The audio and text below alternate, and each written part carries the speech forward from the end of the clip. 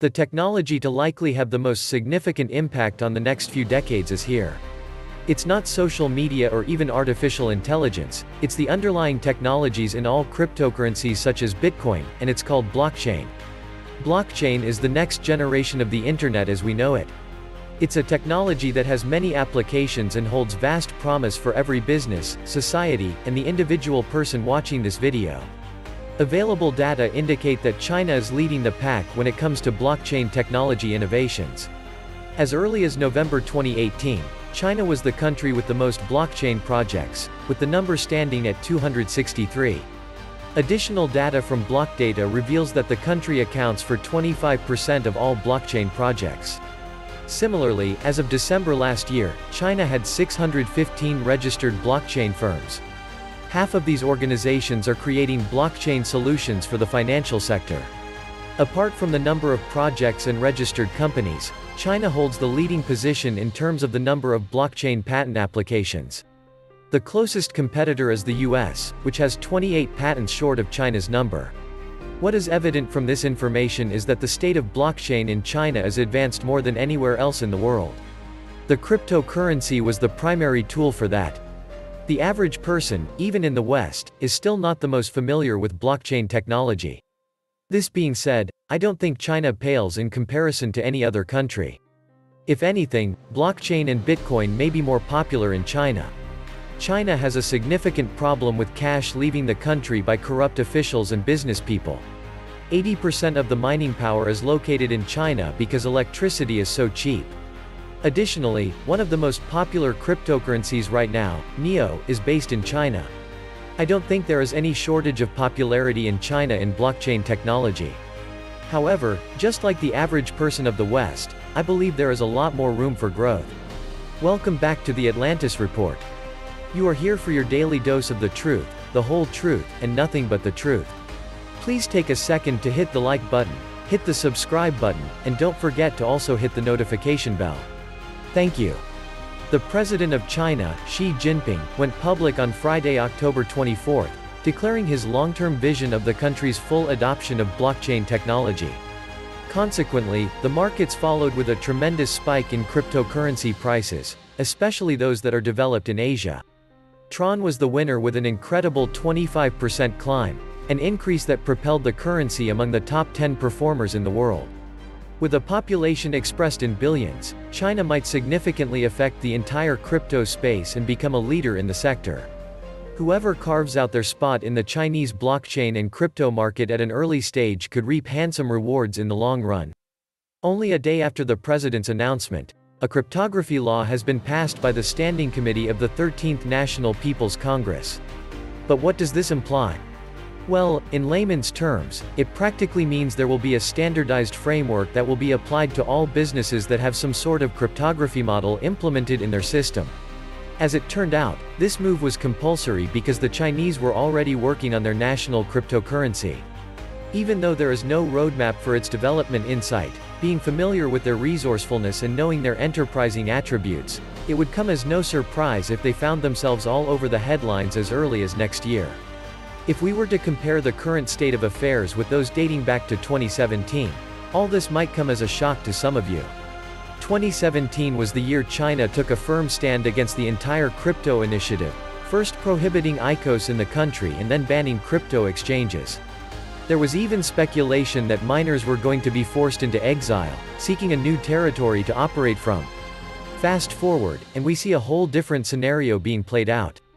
Believe it or not, but now, the Republic of China is taking anti-blockchain sentiment passionately and will be actively removing any comment posted online, claiming that blockchain is some sort of hoax. Mr. Xi Jinping is obviously serious about his intentions, and his statement only confirms that. We must take blockchain as an important breakthrough for independent innovation of core technologies, clarify the main directions, increase investment, focus on a number of key technologies, and accelerate the development of blockchain and industrial innovation. What is more, members of the nation's Communications Industry Association have even proposed celebrating October 24 as a national day. There's no doubt, and if we were to witness countries following China's example, we might as well expect to see a boom of the crypto industry. In that case, it would only be a matter of time before the USA decides to get fully on board and start competing. One might argue that this would be a good time for North America to take Zuckerberg's word of advice more seriously. Regardless of the hype spurred by the Chinese president, there is little to no mention of how cryptocurrencies will be treated in general. The fact that he is enthusiastic and wants to embrace modernization doesn't clearly imply that he supports crypto. Recently in China, two blockchain platforms Ontology and Neo will together build a blockchain-based global cross-chain platform.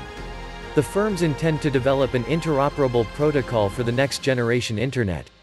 It will also reinforce the strength of both companies.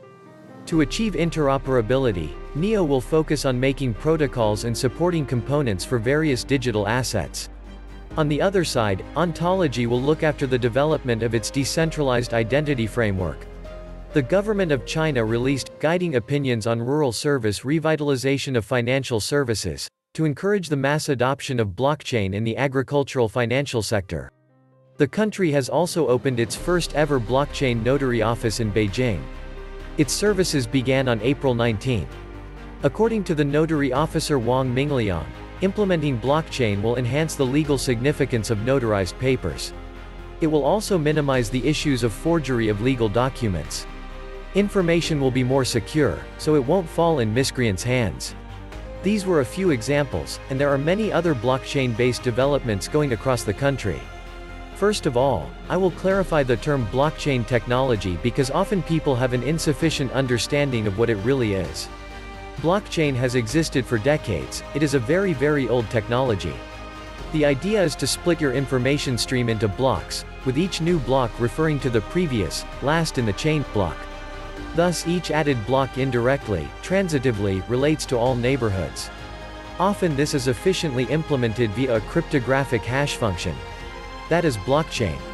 The real innovation and the rise of interest we see today are in the blockchain on a global scale with consensus between the majority of the participants. Consensus on what the next block added in the chain will be. This is what is really hard. Agreeing on the next block, accepting its validity, and moving forward. This needs to be approved by all participants globally. China is one of the examples of government blockchain projects. In reality, the government of China is embracing the blockchain for government schemes for a long time now. Furthermore, the country is hoping to become the blockchain powerhouse that would utilize both private and public blockchains. One of the examples includes the collaboration of the city of Changzhou and Alibaba for securing healthcare information on the blockchain for government platform.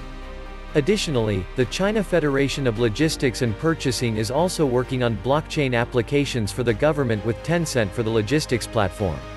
This leaves us with centralized blockchains, consensus is concentrated in one or few participants, and decentralized blockchains, agreement is global and deciding power is distributed equally among participants. Knowing China's political situation and knowing China's internet restriction history. Ask yourself, which kind of blockchain technology is China interested in? Correct, centralized. We can already see China using blockchain in many different areas. One very recent is food traceability using VeChain's technology. The government is actively using and testing blockchain. But the centralized blockchain, which is basically a fancy word for database organized in a block fashion. To see how bad this is, imagine Bitcoin is designed by China's government, it's all working as now, except China's Communist Party can take all your bitcoins at any given time, it can double spend, it can stop producing blocks, it can block individual participants by not validating, including their transactions. Summarized, I think centralized blockchains have a bright future in China. As for decentralized technology, we can anticipate some resistance and restrictions from the government in the coming years.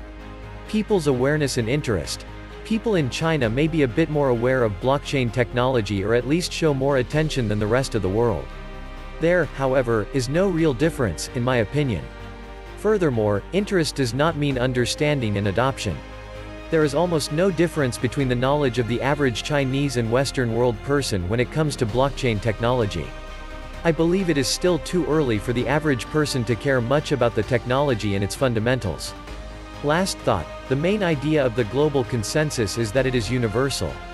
Maybe it is wrong to only look at China. If a technology coin is prevalent only in China, I would be worried about its future. The whole idea is that we connect the world and achieve a borderless economy and transactions.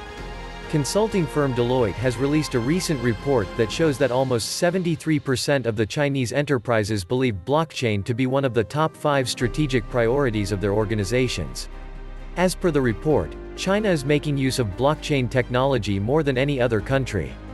Though cryptocurrency exchanges were banned in late 2017, China has heavily invested in the research and development of blockchain applications such as supply chain, healthcare, public services, and financial services. More than half of the companies in China are working towards adopting blockchain for the finance sector. Internet giants such as Alibaba, Tencent, and Baidu have launched their own blockchain initiatives. Alibaba has been using blockchain in food, healthcare, and public welfare since 2016. Tencent made an announcement about the first electronic blockchain invoice in China. China's innovations are expanding across the globe. International blockchain companies are also relying on China for blockchain opportunities. Digital Asset in New York is the best example. It is a distributed ledger technology provider working to develop a blockchain-powered program to help international investors in trading Chinese mainland shares. All these happenings prove that blockchain technology is trendy in China. So what do you think, is China going to become blockchain's leader and proponent? More importantly, how will their actions further affect the crypto market? This was the Atlantis Report. Please like, share, leave me a comment, subscribe. And please take some time to subscribe to my backup channels, I do upload videos there too. You'll find the links in the description box. You will also find a PayPal link if you want to make a donation. Thank you wholeheartedly to all those of you who have already donated. Stay safe and healthy friends.